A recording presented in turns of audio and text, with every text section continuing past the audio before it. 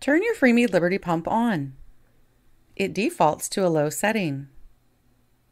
To reach the strongest pump setting, turn the suction up to 10, then turn the pump speed down to zero. When the speed is set to zero, turbo mode starts. This is a long draw cycle and can be used with any suction setting.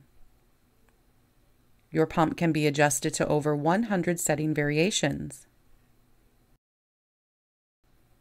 Save up to three of your favorite pump settings by holding down one of the number buttons for three seconds.